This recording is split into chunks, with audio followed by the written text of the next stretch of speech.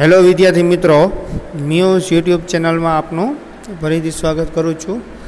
વિદ્યાર્થી મિત્રો, અને પહેલાંના લેક્ચરમાં આપણે ફૂગના વિવિધ પ્રકારના વર્ગની વાત કરી હતી અને તેમાંથી આપણે પહેલો વર્ગ ફાઇકોમાઇસેટ્સ આ પહેલો વર્ગ વિશે આપણે ડિટેલમાં માહિતી મેળવી હતી કે ફૂગના વર્ગમાં કુલ ચાર વર્ગો હોય, બરાબર? એમાંથી પહેલા નંબરનો વર્ગ આપણે ફાઇકોમાઇસેટ્સ એમાં ની ફાઇકોમાઇસેસમાં જે ફૂગ આવે છે, તેની આપણે નિવાસસ્થાનની વાત કરી હતી એમાં પ્રજનનની વાત કરી હતી બરાબર?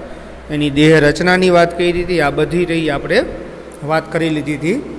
ત્યારબાદ વિદ્યાર્થી મિત્રો, હવે આપણે બીજા નંબરનો વર્ગ, જે આસ્કોમાઇસેટ્સ કહી છીએ બીજા નંબરનો વર્ગ, આસ્કોમાઇસેટ્સ આજના લેક્ચરમાં આપણે જોવાનું થશે. કે આસ્કોમાઇસેટ્સ વર્ગમાં જે ફૂગ આવે છે, બરાબર? એની પોષણ પદ્ધતિ કેવી હોય, એની દેહ રચના કેવી હોય, એમાં પ્રજનન કયા કયા પ્રકારનું જોવા મળે અને એની માનવ માટે અગત્યતા શું હોય, બરાબર? એ આપણે ડિટેલમાં અને આ આસ્કોમાઇસિસ ફૂગમાં ઉદાહરણ સાથે આપણે જોવાનું થશે, બરાબર? એક્ઝામ માટે આ વર્ગ વિદ્યાર્થી મિત્રો આઈએમપી છે અને આમાંથી નીટના પ્રશ્નો ઘણા અગાઉ પૂછાઈ ગયેલા છે. અને ગુજરાત બોર્ડમાં પણ પૂછાઈ ગયેલા છે પ્રશ્નો. એ ઉપરાંત આમાં ઘણા એવા પ્રચલિત નામ આવે છે, આ ફૂગના એ નામ લઈને પણ આ વર્ગ તમને પૂછે. ડાયરેક્ટ એમ ન પૂછે કે એક્સ એસ્કોમાઇસેટ્સ વર્ગનું, ની ફૂગ વિશે જણાવો. એવું ડાયરેક્ટ ન પણ પૂછે. તમને ડાયરેક્ટ એમ પૂછી જઈએ કોથળીમય ફૂગ કોથળીમય ફૂગ વિશે જણાવો. તો કોથળીમય ફૂગ એટલે બીજું કાંઈ ન થાય. આસ્કોમાઇસેટ્સ જે આપણે ફૂગનો વર્ગ કહીએ છીએ એ વર્ગની ફૂગને આપણે કોથળીમય ફૂગ તરીકે ઓળખવામાં આવે છે. તો હવે આપણે આગળ વધી. આસ્કોમાઇસેટ્સ જે વર્ગ રહ્યો એમાં સમાવેશ થતી ફૂગના લક્ષણો આપણે જોતા જઈએ. આપણા બીજા નંબરનો વર્ગ ફૂગ સૃષ્ટિમાં કુલ ચાર વર્ગો છે. એમાં એક પહેલા નંબરનો વર્ગ આપણે જોઈ લીધો. હવે બીજા નંબરના વર્ગ બાજુ આગળ વધીએ. બરાબર? આસ્કોમાઇસેટ્સ સામાન્ય રીતે આ વર્ગના સભ્યો કોથળીમય ફૂગ તરીકે જાણીતા છે. કેના દ્વારા જાણીતા છે? કોથળીમય ફૂગ. બરાબર? તમને એક્ઝામમાં એમ પૂછે, કોથળીમય ફૂગ વિશે જણાવો તો બીજું કાંઈ નહીં, તમારા આસ્કોમાઇસેટ્સ વિશે જે પણ તમે ભણાવી ભણ્યા, બરાબર? એ બધું તમારે એમાં લખી નાખવાનું. કેમ કે કોથળીમય ફૂગ એટલે આસ્કોમાઇસેટ્સ અને આસ્કોમાઇસેટ્સ એને જ આપણે કોથળીમય ફૂગ તરીકે ઓળખવામાં આવે છે. ઉદાહરણ આપ્યું અહીંયા કે પેનિસિલિયમ ભાગ્યે જ એક કોષી છે. પેનિસિલિયમ રહી કોથળીમય ફૂગ છે. બરાબર? અને આ ફૂગના સભ્યોમાં અમુક જ એવી ભાગ્યે જ અમુક જ એવી ફૂગ જોવા મળે છે જે એક કોષી હોય, દાખલા તરીકે ઈસ્ટ. ઈસ્ટ વિશે આપણે અગાઉ વાત થઈ ગઈ હતી કે ફૂગ સૃષ્ટિમાં એક કોષી હોય તો એને ઈસ્ટ કહેવામાં આવે. બરાબર? એટલે આસ્કોમાઇસેટ્સ જે કોથળીમય ફૂગ કહીએ છીએ, બરાબર? એમાં પેનિસિલિયમ ફૂગ રહી બહુકોષી છે અને કોથળીમય ફૂગ છે. જ્યારે ઈસ્ટ રહી એક કોષી ફૂગ છે. એટલે આમાં એમ કીધું, ભાગ્યે જ એક કોષી ફૂગ જોવા મળે ઉદાહરણ આપ્યું ઈસ્ટ બરાબર? અને પેનિસિલિયમ કેવી છે? પેનિસિલિયમ ફૂગ રહી કેવી છે? તો કે કોથળીમય બહુકોષી ફૂગ છે. બરાબર? અહીંયા સળંગ વાક્ય આપ્યું એટલે ભૂલ ન કરતા કે પેનિસિલિયમ ભાગ્યે જ એક કોષી છે. બરાબર? પેનિસિલિયમ રહી, કોથળીમય ભૂખ છે, બરાબર? અને ભાગ્યે જ એક કોષી છે, એટલે એ ઉદાહરણ આપ્યું એ ઈસ્ટ. ઈસ્ટ રહી, એક કોષી છે. પેનિસિલિયમ રહી, કોથળીમય ભૂખ છે બહુકોષી છે. બરાબર? એટલે આ બે ઉદાહરણ યાદ રાખજો એક્ઝામમાં પૂછાય તો પેનિસિલિયમ કેવી ફૂગ છે, તો કે બહુકોષી કોથળીમય ફૂગ છે. જ્યારે ઈસ્ટ રહી કેવી છે, એક કોષી ફૂગ છે. હવે આપણે વિદ્યાર્થી મિત્રો એની પોષણ પદ્ધતિની આપણે વાત કરતા હોય તો તેઓ મૃતોપજીવી છે. વિઘટકો તરીકે પણ વર્તે છે. પરોપજીવી તરીકે પણ વર્તે છે. અથવા છાણ ભક્ષી તરીકે પણ જોવા મળે છે. મૃતોપજીવી એટલે તમને ખબર જ છે કે મરેલા સડતા પ્રાણીઓના દેહ હોય અથવા વનસ્પતિના ભાગ હોય, એના ઉપર જીવનચક્ર જીવે તો મૃતોપજીવી વિઘટકો એટલે કે કોઈ પ્રાણી મરી જાય પછી એના શરીર દેહનું વિઘટન કરે. બરાબર?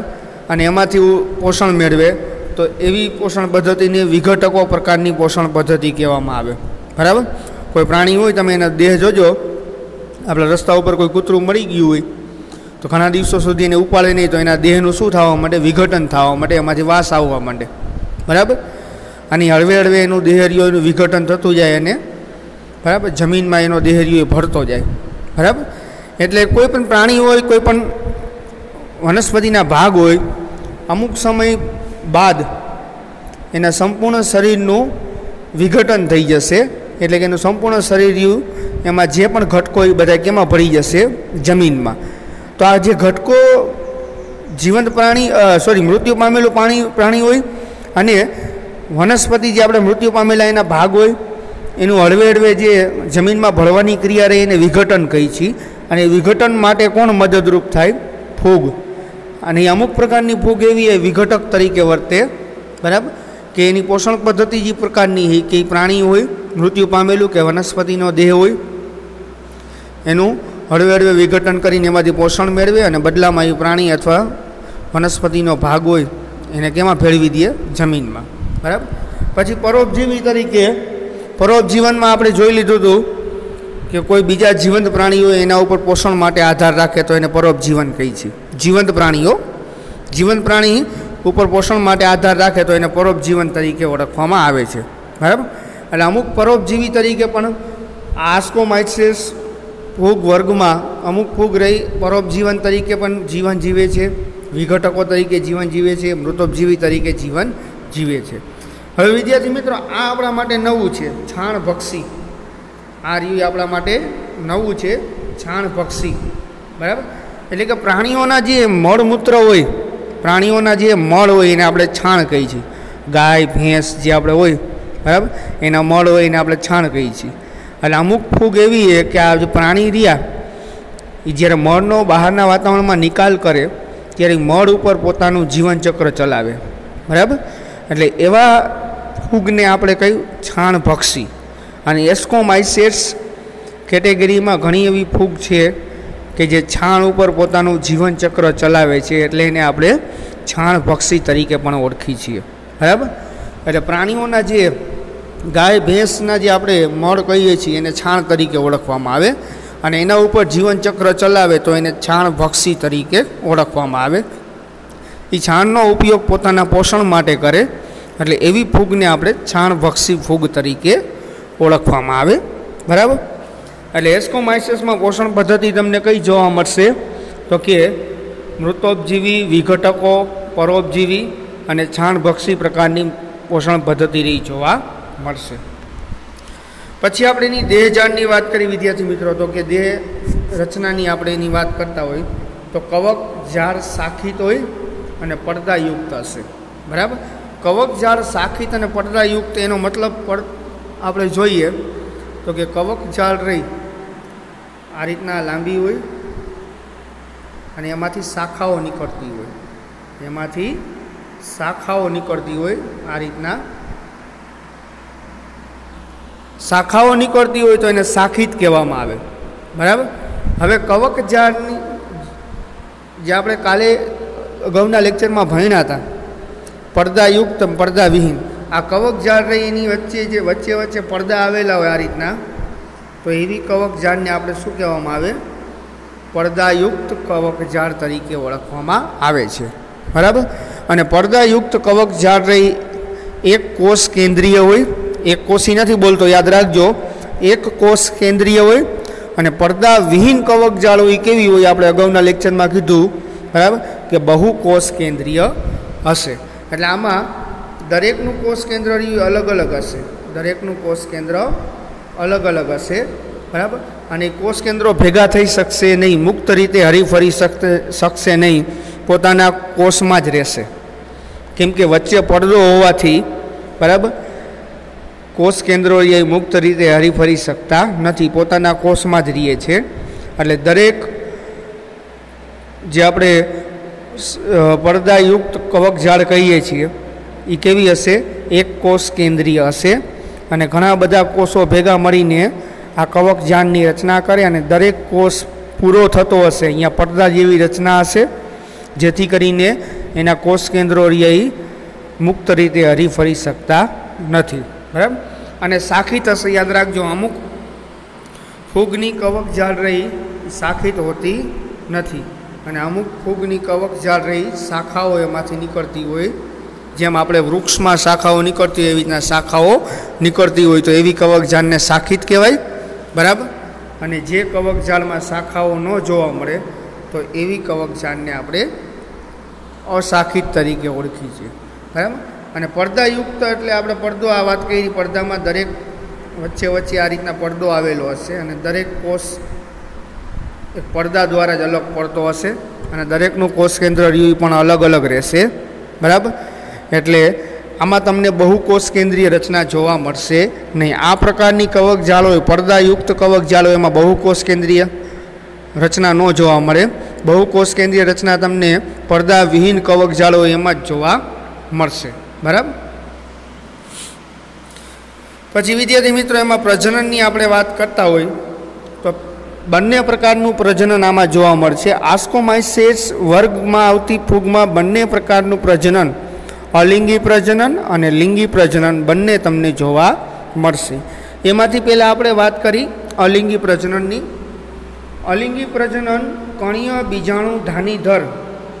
કણીય બીજાણુ ધાનીધર એક વિશિષ્ટ રચના છે જે કવક ઝાડ ઉપર બને. કવક ઝાડ હોય એના ઉપર બનશે. આ રીતના આપણે કહેતા હોય આ કવક ઝાડ. બરાબર? આ જે રચના વિદ્યાર્થી મિત્રો એને કણીય બીજાણુ ધાનીધર કહેવાય, બરાબર? અને વિશિષ્ટ રચના રહી કવક ઉપર બહિર્જાત રીતે કણિય બીજાણુ, બહિર્જાત રીતે કણિય બીજાણુ તરીકે અલિંગી બીજાણુ ઉત્પન્ન કરે છે.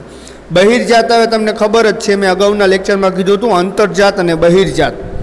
જો બીજાણુ અંદરની તરફ ઉત્પન્ન થતા હોય તો એને અંતર્જાત કહેવાય. પણ અહીંયા બહિર્જાત બીજાણુ કીધા એટલે કે બહારની તરફ મુક્ત રીતે આ રીતના બીજાણુ ઉત્પન્ન થશે. બહારની તરફ મુક્ત રીતે આ રીતના દરેક બીજાણુ રિયાઈ ઉત્પન્ન થશે અને એ મુક્ત હશે. કોઈ ખાસ વિશિષ્ટ રચનાની અંદર પેક નહીં હોય. કોથળી જેવી રચનાની અંદર પેક હશે નહીં. એટલે બહિર્જાત રીતે બીજાણુ ઉત્પન્ન થશે. અને એ બહિર્જાત રીતે બીજાણુ જે ઉત્પન્ન થશે, એ કયા પ્રકારના બીજાણુ હશે? કણીય બીજાણુ તરીકે ઓળખાતા અલિંગી અલિંગી બીજાણુ હશે.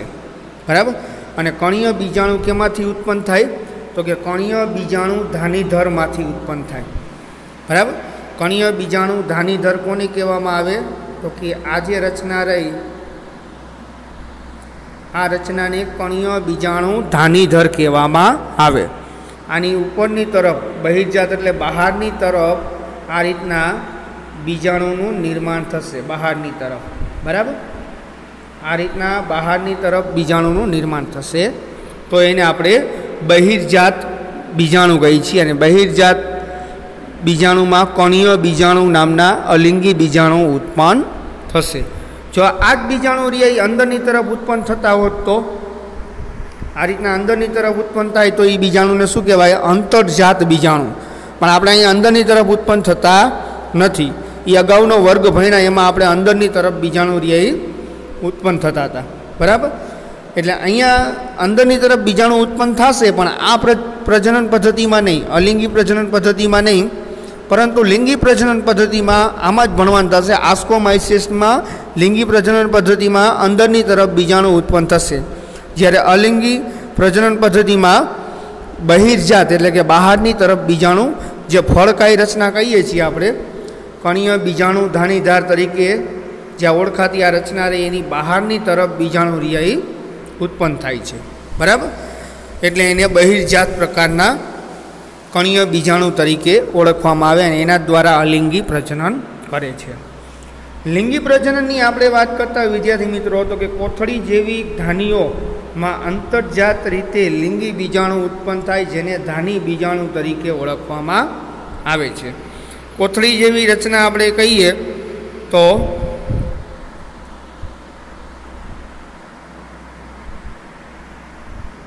આ રીતના કોથળી જેવી રચના, બરાબર? જેમાં અંદરની તરફ બીજાણુ આ રીતના ઉત્પન્ન થશે. અંદરની તરફ બીજાણુ રિયાઈ ઉત્પન્ન થશે.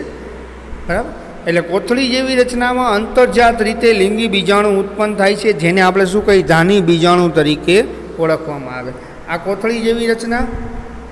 અને અંદરની તરફ જે બીજાણુ રહ્યા એને આપણે શું કહીએ? ધાની બીજાણુ કહી અને ધાની બીજાણુ લિંગી પ્રજનન કરે, આસ્કોમાઇસિસ વર્ગમાં આવતી ફૂગ, તો જ ધાની બીજાણુનું નિર્માણ થશે. જો આસ્કોમાઇસિસ કેટેગરીમાં આવતી ફૂગ રહી, અલિંગી પ્રજનન કરે, તો એમાં કયા પ્રકારના બીજાણુ બનશે? કણીય બીજાણુ. અને કેવી રીતના બનશે? બહિર્જાત દ્વારા. એટલે કે બહારની તરફ બનશે. જે પ્રકણ આપણે કણીય બીજાણુ ધાનીધર કહીએ છીએ, જે ફળકાઈ જેવી વિશિષ્ટ રચના છે. બરાબર? આજે કવક ઝાડ ઉપરથી ઉદ્ભવે કણીય બીજાણુ ધાનીધર એની બહારની તરફ બીજાણુ ઉત્પન્ન થાય તો બહિર્જાત અને એ અલિંગીમાં જ તમને જોવા મળે. બરાબર? અને લિંગી પ્રજનનમાં કોથળી જેવી રચના હશે. બરાબર? આ કોથળી જેવી રચના હોય,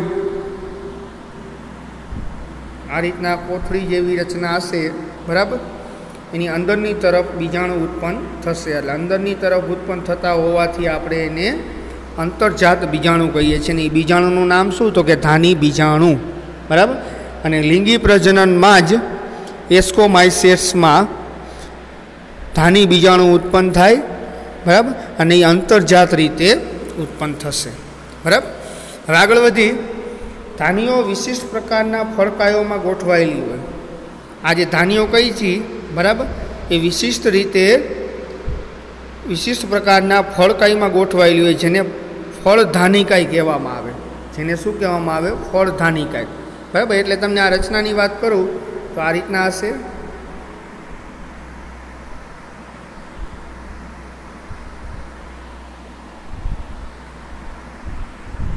અને આના ઉપર આ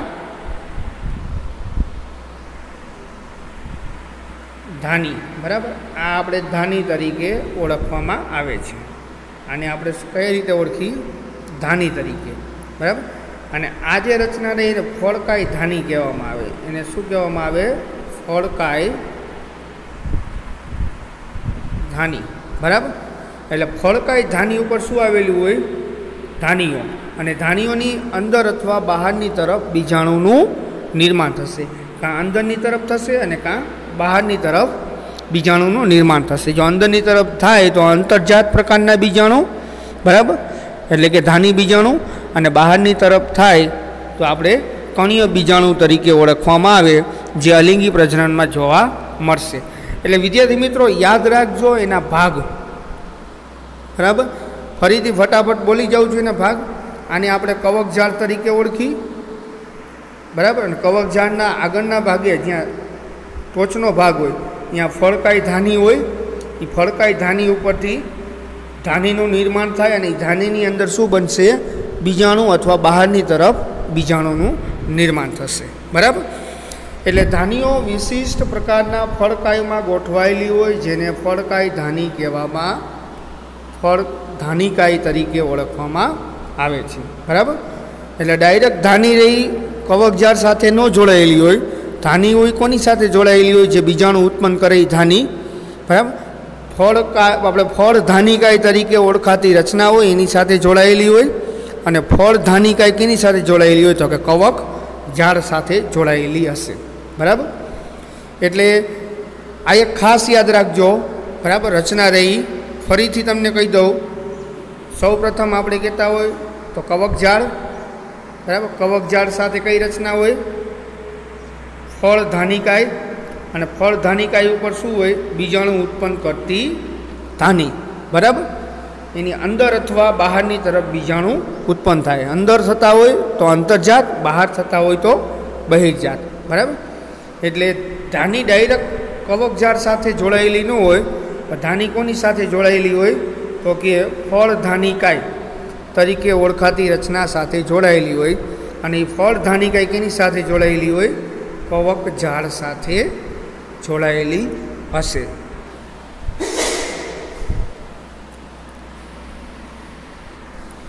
હવે વિદ્યાર્થી મિત્રો, આગળ વધી આપણે ઈસ્ટમાં પૂર્ણ યુગ્મક થાય છે અને એક કોષીય એકકીય કોષો સીધા પ્રજનન કોષો તરીકે વર્તે છે. હવે આવી રચના તમે જે આપણે કહીએ ને, ફળ કાય બરાબર? અને ધાની, ફળ ધાનિકાય આવી રચના રહી ઈસ્ટમાં તમને ક્યાંય જોવા મળશે નહીં. કેમ કે ઈસ્ટમાં કવક જળ જ ન હોય. ઈસ્ટ ફૂગ કેવી છે? એક કોષી છે. એ બેક્ટેરિયાની જેમ વર્તે. બેક્ટેરિયાની આપણે વાત કરી ને એવી રીતના વર્તે. બરાબર? એટલે ઈસ્ટ રહી એક કોષી હોવાથી એ પૂર્ણ યુગ્મક થાય છે. પૂર્ણ યુગ્મક થાય છે એનો મતલબ થાય ઈસ્ટ એક કોષી છે અને દરેક કોષરીઓ ઈ. બરાબર?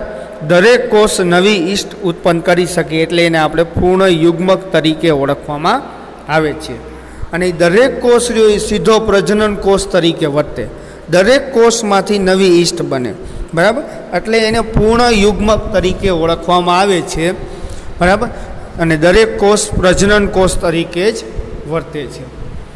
હવે વિદ્યાર્થી મિત્રો, આપણે એની અગત્યતાની વાત કરતા હોય, બરાબર? તો અગત્યતા આપણે જોઈ કે ઈસ્ટના આપણા જીવનમાં શું અગત્યતા છે? તો જૈવ રાસાયણિક અને જનીન ક્રિયાવિધિમાં ન્યુરોસ્પોરા ખૂબ ઉપયોગી છે. જૈવ રાસાયણિક એટલે ઘણા રસાયણો ઉત્પન્ન કરવા માટે જે આપણા રોજિંદા જીવનમાં દવામાં બધી જગ્યાએ વપરાતા હોય રસાયણો, બરાબર? એ રસાયણ ઉત્પન્ન કરવામાં. જનીન ક્રિયાવિધિમાં, એટલે કોઈ જનીનનું કાર્ય તમારે જાણવું હોય, બરાબર? જનીન તો તમને ખબર જ હશે કે આપણું જે ડીએનએ રહ્યું એમાં અમુક ટુકડા રહ્યા એને જનીન તરીકે ઓળખવામાં આવે, બરાબર? અને દરેક જનીન રહ્યું આપણને ચોક્કસ પ્રકારનું લક્ષણ આપે. હવે બધા જ સજીવોમાં જનીનો હોય બરાબર? કોઈ પણ સજીવનું જનીનનું કાર્ય તમારે જાણવું હોય કે કયા પ્રકારનું લક્ષણ આપે, તો એ જનીન ક્રિયાવિધિમાં ન્યુરોસ્પોરા ઉપર પ્રયોગ કરવામાં આવે. ન્યુરોસ્પોરા નામની ફૂગ રહે એના ઉપર પ્રયોગ કરવામાં આવે. એ જનીન ન્યુરોસ્પોરામાં દાખલ કરવામાં આવે ને પછી જોવામાં આવે કે એ ન્યુરોસ્પોરામાં કયા પ્રકારના લક્ષણ આપે છે. એટલે આ જનીન ક્રિયાવિધિમાં જે જનીનનું કાર્ય, એની રચના વગેરેનો અભ્યાસ કરવો હોય તો એ જનીન અભ્યાસ કરવા માટે એ જનીન ક્રિયાવિધિમાં કોણ ઉપયોગી થાય? ન્યુરોસ્પોરા નામની ફૂગ. અને એ ન્યુરોસ્પોરા ફૂગ રહી ઘણા પ્રકારના રસાયણો જે આપણા માટે જરૂરી છે જેવ રસાયણ એ ઉત્પન્ન કરવામાં મદદરૂપ થાય છે. ઘણા સભ્યો કાળો રંગ અને પીળો રંગ, બરાબર, ધરાવે છે. આ ફૂગના ઘણા સભ્યો રહ્યા. આસ્કોમાઇસેસ ફૂગમાં ઘણા સભ્યો કાળા રંગના છે. ઉદાહરણ તરીકે મોરેલ્સ. મોરેલ્સ એ કાળા રંગની ફૂગ હોય એસ્કોમાઇસેસની કાળા રંગની ફૂગ એને મોરેલ્સ તરીકે ઓળખવામાં આવે. અને એસ્કોમાઇસેસમાં પીળા રંગ ધરાવતી પણ ફૂગ છે. તો એને આ બફલ્સ તરીકે ઓળખવામાં આવે છે. કયા કયા નામે ઓળખવામાં આવે? બફલ્સ તરીકે. બરાબર? અને આ ફૂગ રહી એકદમ નાજુક છે અને ખાવાલાયક છે. એટલે કે આ ફૂગનો ઉપયોગ મનુષ્ય ખોરાક તરીકે પણ કરી શકે. કેમ કે આ ફૂગમાં ઊંચા પોષણ મૂલ્ય છે, એટલે કે ઘણા બધા પોષક તત્વો રહ્યા આ ફૂગમાંથી આપણને મળે છે, જે આપણા શરીર માટે જરૂરી છે. બરાબર? તો કાળા રંગના જે સભ્યો રહ્યા, આ એસ્કોમાઇસેસ કેટેગરીમાં જે ફૂગ રહી કાળા રંગની હોય, જેને આપણે મોરેલ્સ તરીકે ઓળખી અને પીળા રંગવાળી જે ફૂગ રહી, જેને આપણે બફલ્સ તરીકે ઓળખી છીએ, આ બંને પ્રકારની જે ફૂગ રહી એસ્કોમાઇસેસમાં ખાવાલાયક છે અને એકદમ નાજુક છે. એટલે તમે એ ફૂગને અડો તો પણ એ ફૂગ તૂટી જશે, એનું કવક ઝાડ તૂટી જશે, એટલું નાજુક હોય. બરાબર? એટલે આ ફૂગ રહી આપણા રોજિંદા જીવનમાં ખોરાક તરીકે ઉપયોગ કરી છે, કેમ કે એ ઊંચું પોષણ મૂલ્ય ધરાવે છે, એમાં ઘણા બધા પોષક તત્વો છે જે આપણા શરીર માટે જરૂરી છે. બરાબર? હવે વિદ્યાર્થી મિત્રો, અહીંયા ઉદાહરણ આપ્યા છે કે આસ્કોમાઇસિસ કેટેગરીમાં આવતી ફૂગના ઉદાહરણ યાદ રાખજો. એમસીક્યુ માટે જરૂરી છે, નીટ માટે. એસ્પોજિલસ નામની ફૂગ.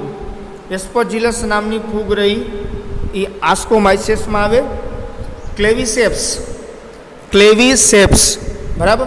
આ પણ આસ્કોમાઇસેસમાં આવતી ફૂગ છે એનું ઉદાહરણ છે. પછી ન્યુરોસ્પોરા એની તો આપણે અગાઉ વાત થઈ ગઈ કે ન્યુરોસ્પોરા રહી પણ આસ્કોમાઇસેસમાં આવતી ફૂગ છે. પછી તમારે વધારે ડિટેલમાં કેવું હોય ચોથું ઉદાહરણ તો પેનિસિલિયમ જે એ પણ અગાઉ આવી ગઈ આપણે. બરાબર? અને ઈસ્ટ એ પણ આસ્કોમાઇસેસ કેટેગરીમાં આવતી ફૂગ છે. બરાબર? વિદ્યાર્થી મિત્રો, અહીંયા એની આકૃતિ આપેલી છે કે કણીય બીજાણુ રિયા, જે આપણે કણીય બીજાણુ કહીએ છીએ એ બહારની તરફ, મુક્ત રીતે બહારની તરફ એનું નિર્માણ થાય છે. અને એ બહિર્જાત એટલા માટે જ કહેવામાં આવે કે એ ધાની હોય એની બહારની તરફ આજો બીજાણુ તમને દેખાય બહારની તરફ જે આ રહ્યા ગોળાકાર. બરાબર? એ બીજાણુ જ છે એ બહારની તરફ મુક્ત છે. હવે જો અંદરની તરફ બીજાણુ બનતા હોત અહીંયા અને અંદરની તરફ બરાબર આ ભાગમાં બનતા હોત અંદરની તરફ તો એને અંતર્જાત પ્રકારના બીજાણુ તરીકે ઓળખવામાં આવે છે. બરાબર? એટલે અહીંયા એક એસ્પરજીલસનું ઉદાહરણ આપ્યું છે કે એસ્પરજીલસમાં બહિર્જાત રીતે કણીય બીજાણુનું બહારની તરફ જે ધાની હોય એની બહારની તરફ બીજાણુનું નિર્માણ થાય છે. બરાબર? એટલે આપણે એને બહિર્જાત પ્રકારના બીજાણુ તરીકે ઓળખવામાં આવે છે. બરાબર? તો વિદ્યાર્થી મિત્રો, આ હતું આપણે એસ્કોમાઇસેસ વર્ગ. બરાબર? એમાં આવતી ફૂગ અને એમાં તમને એના બાકીના લક્ષણો, પોષણ પદ્ધતિ, એની દેહરચના કવકઝાડ શાખિત હોય, પડદાયુક્ત હોય, અને એમાં અલિંગી પ્રજનનમાં ઉત્પન્ન થતા બીજાણુ કઈ રીતના ઉત્પન્ન થાય, બહારની તરફ ઉત્પન્ન થાય અને એ બીજાણુને કયા નામે ઓળખાય? બરાબર? અને એ બીજાણુ ઉત્પન્ન કરતી ધાનીનું નામ તો કે કણી કણી બીજાણુ ધાનીધર. બરાબર? અને લિંગી પ્રજનનમાં કોથળી જેવી જે ધાનીઓ બને એની અંદર બીજાણુ ઉત્પન્ન થાય, જેને અંતર્જાત બીજાણુ કહેવામાં આવે. બરાબર? અને આ બીજાણુનું નામ ધાની બીજાણુ તરીકે ઓળખવામાં આવે છે. બરાબર? પછી આપણે ઈસ્ટની વાત કરી કે ઈસ્ટ રીઓ એક કોષી છે અને એ પૂર્ણ યુગ્મક છે. પૂર્ણ યુગ્મક એટલે કે દરેક કોષ સ્ત્રીઓ ઈસ્ટનો પ્રજનન કોષ તરીકે જ વર્તે છે એટલે એને આપણે પૂર્ણ યુગ્મક તરીકે ઓળખીએ છીએ. પછી આપણે અગત્યતાની વાત કરી કે આ ફૂગનું એસ્કોમાઇસિસ કેટેગરીમાં જે ફૂગ આવે છે, એનું આપણે રોજિંદા જીવનમાં શું અગત્યતા છે? તો કે ખાવાલાયક તરીકે ઉપયોગ કરી જૈવ રાસાયણિક ઉત્પન્ન કરવા માટે ઉપયોગ કરી, બરાબર? અને જનીન ક્રિયાવિધિમાં ન્યુરોસ્ફોરા નામની ફૂગનો ઉપયોગ થાય છે. બરાબર? પછી યાદ રાખજો, કાળા રંગ તરીકે ઓળખાતી ફૂગ રહી એસ્કોમાઇસિસમાં મોરેલ્સ તરીકે ઓળખાય અને પીળા રંગની ફૂગ રહી એસ્કોમાઇસિસમાં બેફોલ, બફલ્સ તરીકે ઓળખવામાં આવે છે. બરાબર? અને એ ખાવાલાયક છે અને એકદમ નાજુક છે. તો વિદ્યાર્થી મિત્રો, આ હતો આપણો બીજા નંબરનો વર્ગ, આસ્કોમાઇસિસ વિશેની માહિતી. એક્ઝામ માટે આપ જે કોથળીમય ફૂગ, આસ્કોમાઇસિસનું બીજું નામ શું? કોથળીમય ફૂગ કેમ કે આમાં કોથળી જેવી રચના જે ધાનીઓ બને છે, બરાબર? એ કોથળી જેવી રચના બનાવે છે એટલે એને કોથળીમય ફૂગ તરીકે ઓળખવામાં આવે છે, બરાબર? એટલે એસ્કોમાઇસેસ ને કદાચ એક્ઝામમાં એવી રીતના પણ પ્રશ્ન પૂછે, કોથળીમય ફૂગ વિશે જણાવો, તો એ એસ્કોમાઇસેસ જ ફૂગ થઈ, બરાબર? અથવા તમને એનું ડાયરેક્ટ નામ લઈને પણ પૂછીએ કે એસ્કોમાઇસેસ વિશે જણાવો, તો તમારે આમાં ફૂલ લેન્થ ક્વેશ્ચન લખવાનો થાય. બરાબર? તો આ હતો આપણો બીજા નંબરનો વર્ગ એસ્કોમાઇસેસ બરાબર? હવે ત્રીજા નંબરનો વર્ગ રહ્યો એ બેસિડિયોમાઇસેસ આપણે નેક્સ્ટ લેક્ચરમાં જોઈ લેશું. આજના આપણા વિદ્યાર્થી મિત્રો આ લેક્ચરમાં જેટલું ચલાવ્યું એસ્કોમાઇસેસમાં જેટલા લક્ષણો કીધા, એમાં કાંઈ પણ તમને ડાઉટ હોય, કાંઈ પણ ક્વેરી હોય, બરાબર? તો આપણી મ્યુઝ યુટ્યુબ ચેનલમાં મને પ્રશ્ન પૂછી શકો છો. હું ચોક્કસપણે એનો જવાબ આપીશ અથવા તો વોટ્સઅપમાં મને પ્રશ્ન પૂછી શકો છો. હું ચોક્કસપણે એનો જવાબ આપીશ. અને વિદ્યાર્થી મિત્રો, એસ્કોમાઇસેસ કેટેગરીની ફૂગના અમુક ફોટોગ્રાફ્સ પણ મેં આમાં રાખેલા છે પ્રેઝન્ટેશન સ્વરૂપે. બરાબર? આ આપણા લેક્ચરમાં વિડીયોમાં ફોટોગ્રાફ્સ પણ હશે. એ પણ તમે જોઈ લેજો, એટલે તમને આ ફૂગની રચના રહી થોડીક વધારે ડિટેલમાં સમજાઈ જશે. બરાબર? અને અહીંયા જે ફોટોગ્રાફ્સ આપ્યો એટલો બધો ક્લિયર નથી, એટલે મેં આમાં બીજા ફોટોગ્રાફ્સ બીજા ફોટા રિયાઈ મેં મૂકેલા છે. તો તમે એ પણ સાથે સાથે જોતા જઈજો. આ વીડિયો જોવો ત્યારે. બરાબર? હવે નેક્સ્ટ લેક્ચરમાં જોઈ લઈશું આપણે બાકીનો ટોપિક થેન્ક યુ વિદ્યાર્થી મિત્રો.